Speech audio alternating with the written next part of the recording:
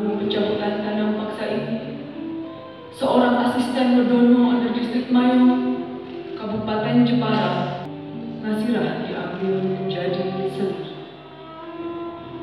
Dan beberapa waktu kemudian, Kartini. Sejauh